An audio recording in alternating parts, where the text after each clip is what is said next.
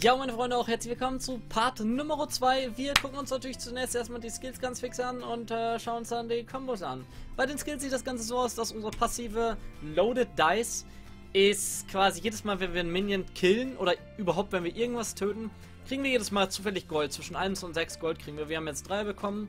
Wenn wir diesen guten Dude bekommen, haben wir jetzt 2. Also wir kriegen immer unterschiedlich zwischen 1 und 6 Gold. Das ist super unterschiedlich. Das ist alles. Das heißt, wir stacken jetzt so ein bisschen Gold hoch. Die Q ist sein Hauptspell. Er wirft drei Karten in diese, immer in diesem Abstand. Diese Karten, ja, die äh, fliegen auch durch Gelände durch. Die machen Schaden. Und das ist alles. Die haben auch immer unterschiedliche Farben. Jetzt waren es drei gelbe. Manchmal sind es auch äh, ja, bunte. Also ja. Die W ist das, was Twisted Fate ausmacht, mehr oder weniger. Und zwar hat er die Möglichkeit, drei Karten zu wählen. Sobald er diesen Spell aktiviert, laufen diese Karten durch und Twisted Fate kann aussuchen, welche Karte er haben möchte. Die blaue Karte macht am meisten Schaden und gibt Mana wieder. Die rote Karte macht AOE Damage und macht den mittleren Schaden und Slow zusätzlich. Die gelbe Karte macht den geringsten Schaden, macht aber dafür einen Stun auf das Ziel. Das Ziel ist gestunt und kann nichts machen. Wir können den Damage einmal sehen. Die blaue Karte 40, die rote Karte 30, also fast gleich.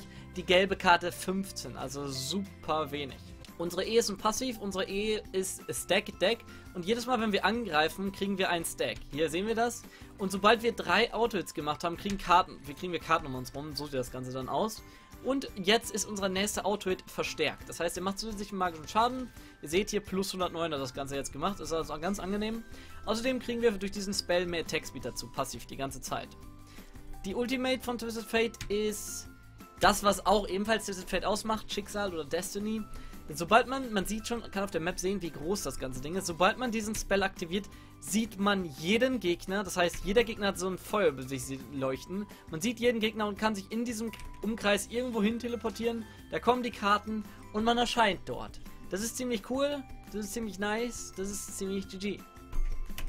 Bei Maxen der Spells sieht das Ganze so aus, dass wir auf jeden Fall Q maxen. Q ist nämlich unser ja, unser Farm-Spell. Danach maxen wir das W und dann das E. Da gibt es auch keine Diskussion, das ist so, das bleibt so.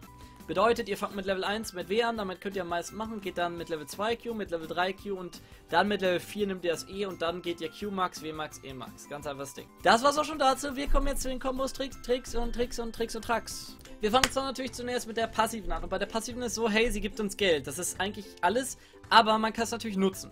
Erstens kriegen wir bei der passiven Geld durch alles wieder. Sollten wir Yorikule töten, sollten wir Zyra-Pflanzen töten, sollten wir Shaco-Boxen killen, sollten wir die Voidlinge aus dem Voidgate, Leute. Das ist eine Geldfabrik. Das ist eine Geldscheinfabrik, die euch auf euch zuläuft, ja. Das heißt, ihr kriegt durch alles Geld und ihr macht auch so kleine Camps, wie dieses Raptor-Camp. Könnt ihr sehr, sehr günstig machen, beziehungsweise sehr, sehr effizient. Das heißt, wenn ihr zum Beispiel diese drei kleinen Dinger, die euch kaum Geld geben, so kriegt ihr einfach mal einen riesen Bunch daraus, einen riesen Bunch Geld. Das heißt, mit einem gewissen Level macht ihr die Qs oder mit gewisser AP-Wert, macht ihr mit dem Q alle Raptoren kaputt. Diese kleinen Dinger, das heißt, ihr könnt auch mal beim Gegner einfach mal die Qs da durchwerfen. Einfach so random durch und dann kriegt ihr einfach Free Gold. Und das ist nicht immer gerade wenig, je nachdem, wie viel Glück ihr gerade habt.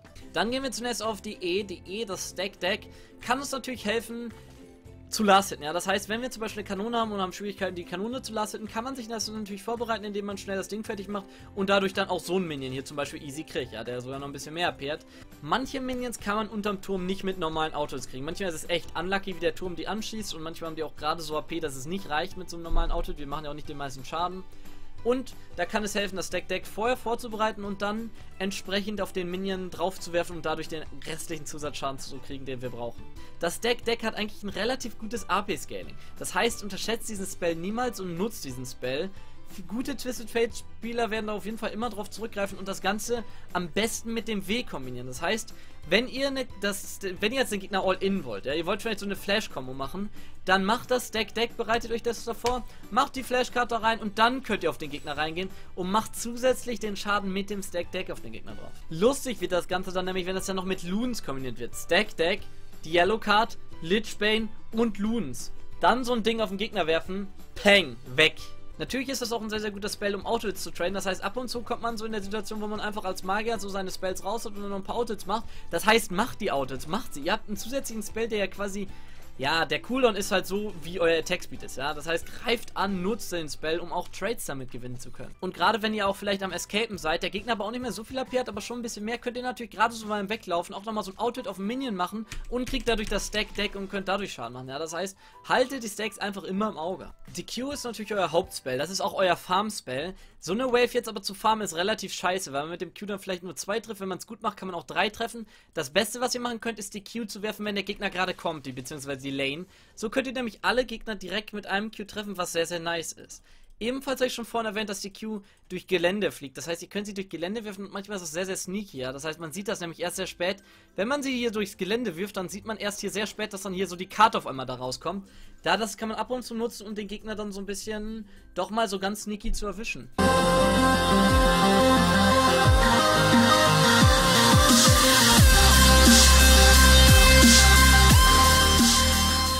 Natürlich ist das auch unser Spell, den man zu Pocken benutzt. Das heißt, wir hauen natürlich permanent die Qs rein und bei mir ist es ab und zu, sage ich, Quantität über Qualität. Ab und zu werfe ich einfach die Karten, will die Wave pushen und wenn ich den Gegner dabei treffe, dann ist das halt noch so geil. Aber das ist eure Entscheidung, wie ihr damit umgehen wollt.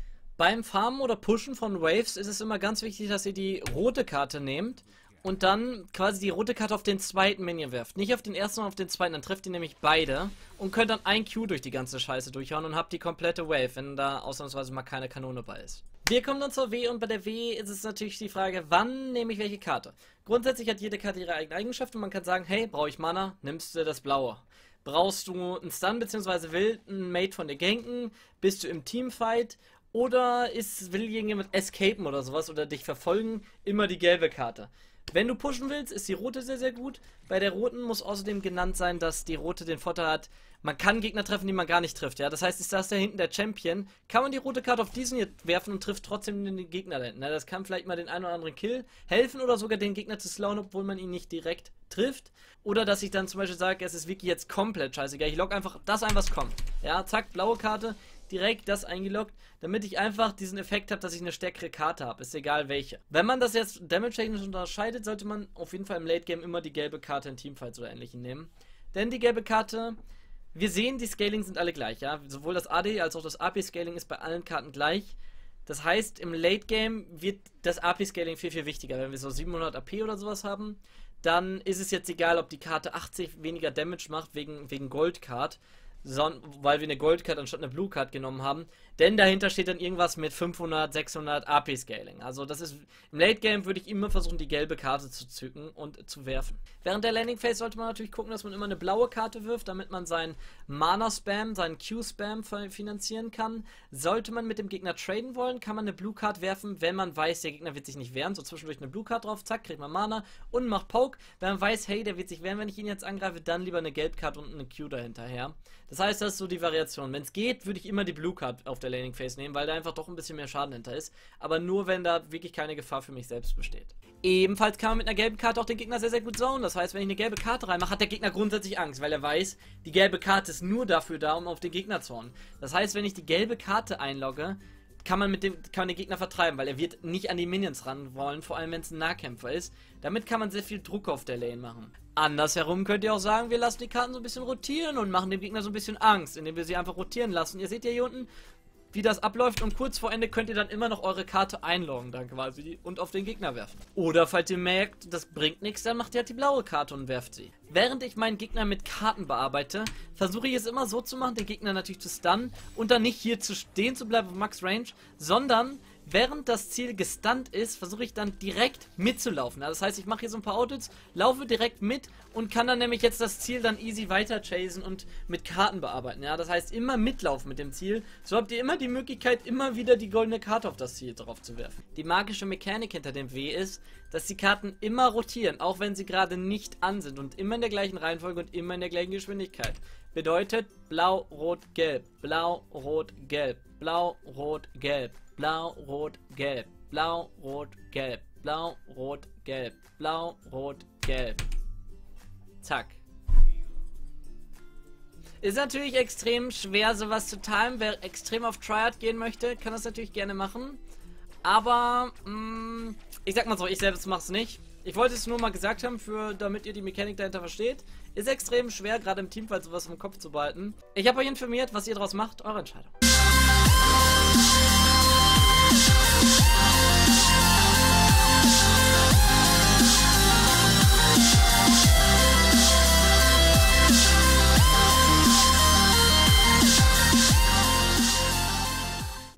Fangen einmal damit an, dass die Ultimate, der erste Einsatz ist natürlich das Ganken. Ja? Das heißt, ihr könnt mit der Ultimate sehr, sehr gut andere Lanes ganken. Das heißt, ihr geht irgendwo zum Beispiel hin, ihr pinkt, am besten immer so, ihr sagt, hey, geil, Ganking Botlane, bla bla bla bla bla. Geht ungefähr in die Reichweite so. Weiter nicht, weil dann lauft ihr nicht gefallen, irgendwelche Worte zu gehen. Drückt jetzt, lockt vorher schon mal die gelbe Cam, äh, Cam, die gelbe Cam ein, die gelbe Karte ein, zack. Und jetzt könnt ihr euch quasi hier rein ulten, ja. Das heißt, ihr macht die Ultimate an und ultet Mate nach unten, am besten hinter den Gegner und stunt den Gegner. Bevor ihr in den Lane ganken geht, solltet ihr natürlich immer vorbereiten, dass ihr euer Stack Deck ready habt, um noch den ganzen Gank ein bisschen zusätzlichen Schaden zu verleihen.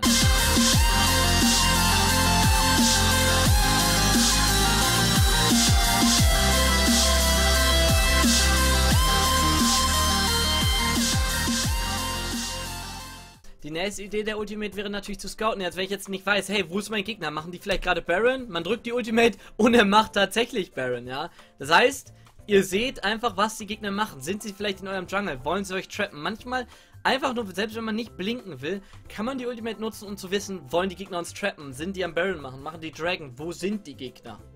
Wichtig hierbei ist, hat der Gegner ein Banshees Veil, dann wird man den Gegner nicht sehen können. Ja? Dieser Effekt, dieses Auge wird von dem Banshees Veil geblockt. Man kann die Ultimate natürlich auch zum Chasen benutzen. Das heißt, wenn der Gegner so ein ganz kleines Stückchen wegkommt und wir nicht mehr hinterherkommen, kann man natürlich mit der Ultimate nochmal ein kleines Stück hinterher blinken, um den Finish drauf zu machen.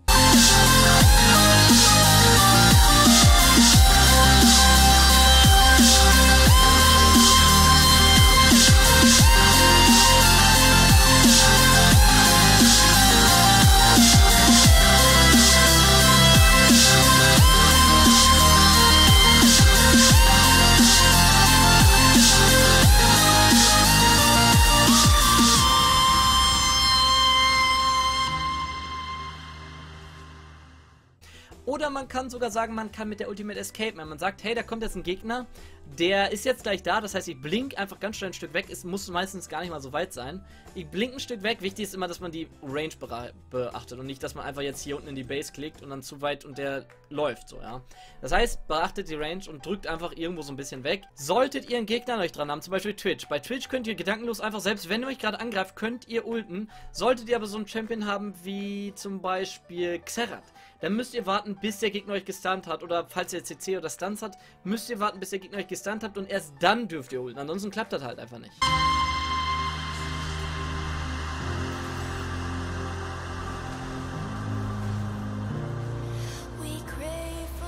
Außerdem macht die Ultimate nicht nur normale Tools sichtbar, sondern auch unsichtbare Ziele. Das heißt, ein Akali, ein Twitch, Shaco, alles, was sich unsichtbar macht, wird quasi sichtbar gemacht. Das heißt, sollte der Gegner sich sich verdummen und unsichtbar werden, drückt einfach auf die Ultimate und hey, da ist er ja. Da sehen wir den wieder. Für die ganze Zeit, wie unsere Ultimate an ist, sieht man den, was sehr, sehr lang ist. Ja, ist also der RIP für jeden, für jeden unsichtbaren Champ. Our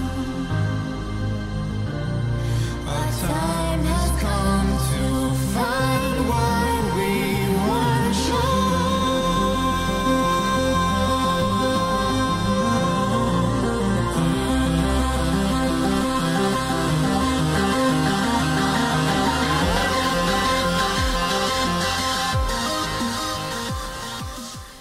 Kombos technisch gibt es eigentlich gar nicht so viel zu sagen. Kombos technisch, es gibt wirklich nicht viel. Das Ding ist, bei Kombos, ihr könnt eigentlich die gelbe Karte einloggen, ihr werft die auf den Gegner und ihr macht das Q mit dem Auto dabei und habt einen Thunderlords Proc. Wichtig dabei ist, dass die, je nachdem, wie weit ihr vom Gegner wegsteht und er vielleicht noch in der Zeit, wo die Karte, gelbe Karte fliegt, dass der Gegner sich ja bewegt und die Karten relativ langsam fliegen. Das heißt, kann sein, dass er sich danach direkt wieder bewegt und die Karten daneben fliegen. Ansonsten, die Ultimate kann man natürlich auch zum Split-Pushen nutzen. Das heißt, wenn das Team gerade die Midlane pusht, kann man selber zum Beispiel auf der Botlane hier gerade einen Turm pushen, vielleicht den zweiten Turm hier. Und sollte, sobald ein Gegner hier kommt, oder sobald in der Mitte gefightet wird, blinkt man dann einfach zum Team zurück. Wichtig ist natürlich, dass man die Range beachtet. Man kann zum Beispiel nicht von unten nach oben, das klappt dann natürlich nicht.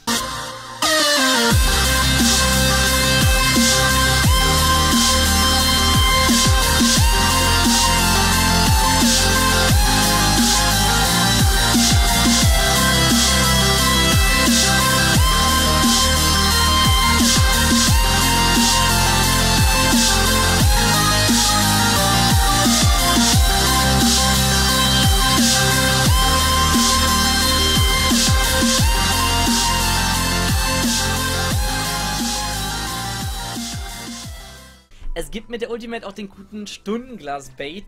Ich selber habe ihn noch nie eingesetzt und auch ich habe auch nicht so das ganze Vertrauen. Es gibt ein sehr, sehr schönes Video, wo eine Person die Ulti anmacht und in die Gegner reinblinkt, in fünf Gegner reinblinkt. Und sobald die Gegner sehen, dass dieses Mark auf dem Boden ist, wollen die euch alle auf die Fresse. Und die sehen, oft ist es so, Twisted Fates blinken schlecht in die Gegner rein und dann kriegst du sofort alle Stunts, aber du bist instant tot einfach. Ja, es ist sehr, sehr einfach, diese Ultimate auszuplayen, weil zum Beispiel, wenn gerade diese Kugeln da kommen, dann könnte Nami einfach vorher schon mal die Bubble rauswerfen und sobald du da stehst, kriegst du diese Bubble ab. Und das wollen Gegner. Und deswegen gibt es so diesen Bait, dass du die Ultimate anmachst, in fünf Gegner rein blinkst und in das Stundenglas drückst. Ja, die hauen direkt alles auf dich drauf und irgendwelche Spells und dann stehen die aber vielleicht alle um dich rum. Und dann kommt nämlich zum Beispiel Engage von Malphite, von Amumu, von Cannon, also so ein richtig fetter AOE-Engage und fünf Leute rein. Ich habe selber noch nie praktiziert, ist mir auch zu gefährlich, weil ich meinem Team soweit nicht vertrauen würde. Aber ich wollte es mal wert haben. Ebenfalls ist es so, dass die Gegner natürlich oft noch so mit ganz wenig HP aus dem Teamfight rauskommen. Und da ist es wichtig, dass die Gegner sich oft splitten. Das heißt, wir haben drei Leute, die wenig HP haben und dann geht jeder seinen eigenen Weg. Der eine macht noch ein Camp, der eine stellt sich am Turm und der andere geht hier noch so ein bisschen Warden oder irgendeinen Blue Buff machen. Das heißt, wartet ein bisschen, nehmt euch ein bisschen Zeit und dann zündet die Ultimate, wenn ihr wisst, der Gegner hat sich selber isoliert, ist alleine und dann blinkt ihr dahin und bringt ihn dem Arrest und tötet ihn.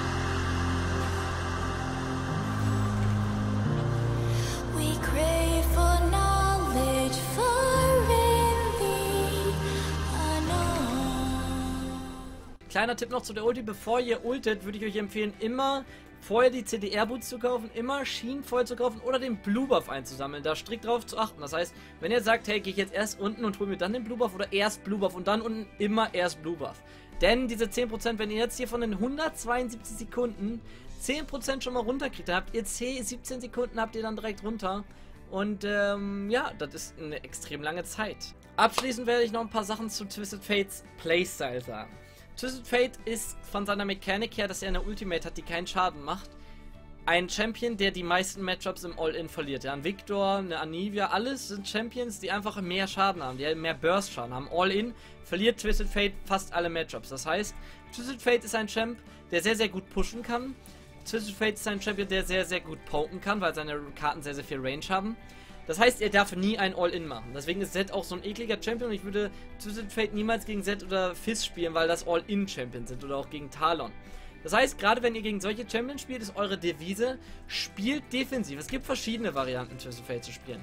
Oft ist es so, der pushende Defensive. Ja, das heißt, wir pushen durch, versuchen aber nicht zu fighten, aber gleichzeitig den Gegner irgendwie zu, dass er CS verliert, dass wir die Lane durchpushen, dass er vielleicht auch keinen Druck machen kann, dadurch, dass wir die Lane durchpushen. Alternativ kann man natürlich auch sagen, dass man mit der Q extrem einfach die ganze Zeit farmt. Da die Q extrem viel Range hat, kann man auch einfach von sehr, sehr weit weg mit der Q quasi die Minions farmen ohne dass der Gegner wirklich was dagegen machen kann, weil wir von hier aus da oben die Minions weg CSen können. Das heißt, der richtige Umgang mit Twisted Fate auf der Lane ist sehr, sehr wichtig. Vor allem hat Twisted Fate auch kein Escape, weshalb es sehr, sehr wichtig ist, dass ihr gut wardet, gutes Positioning habt und euch richtig bewegt. Wenn ihr wisst, der Gegner könnte euch ganken, dann fightet es gar nicht, weil ihr habt kein Escape, ihr werdet sterben. Twisted Fate ist also an sich ein sehr, sehr fragiler Champion, aber es ist so, dass ihr halt durchpusht und dann versucht einfach die Gang, die Lane es ist so, dass ihr versucht, eure Lane einfach, falls ihr sie wirklich nicht gewinnen könnt, man kann viele Lanes gewinnen, indem man sie einfach paukt und irgendwann den Finish setzt, ja. So ist es nicht. Aber falls ihr eure Lane nicht gewinnen könnt, dann pusht sie einfach bis zum geht nicht mehr durch, werdet Level 6 und von Level 6 aus soll ich direkt unten hier irgendwo hinzulaufen und von da aus direkt auf die Lane zu holen. Das ist sehr, sehr gut und das klappt sehr, sehr gut. Das heißt, das Allerwichtigste bei Twisted Fate ist wirklich das Positioning und deswegen ist auch Movement Speed so wichtig. Wir haben kein Escape und deswegen müssen wir einfach immer schnell sein und viel Movement Speed aufbauen durch unsere Ruhen, durch unsere Items, durch den ganzen Bums. Das heißt, positioniert euch in Teamfights richtig, positioniert euch gut. Ihr müsst immer schön weit hinten stehen und die, ihr dürft nicht zu nah an das Ganze ran. Solltet ihr eine Vi-Ulti abkriegen, seid ihr tot.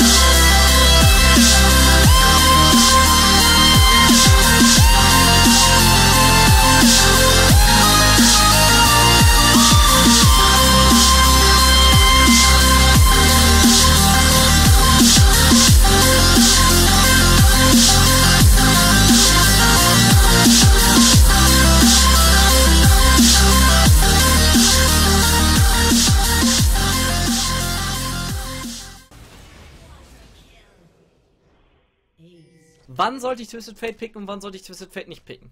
Grundsätzlich ist es erstmal sehr, sehr wichtig bei Twisted Fate, ihr habt vielleicht alle schon mal dieses Game gehabt, wenn ihr Twisted Fate gespielt habt, dass ihr einfach nirgendwo ganken könnt. Ihr braucht Lanes mit Potenzial. Wenn ihr auf der Botlane zum Beispiel eine Janna-Sivir-Kombo habt, die hat sehr, sehr wenig Potenzial, Kills zu machen. Kein CC so richtig und auch kein Stun oder sowas. Und der Wirbelsturm ist ja jetzt geht, so sagen wir mal ehrlich. Und so eine Lane zu ganken ist dann sehr, sehr schlecht. Und wenn ihr auf der Toplane noch einen Vladimir habt, dann ist das Ganze RIP. Das heißt, ihr könnt nirgendwo richtig ganken. Das heißt, guckt schon in der Champ Select, was habt ihr für ein Team? Lohnt es sich, Twisted Fate zu picken? Ja oder nein?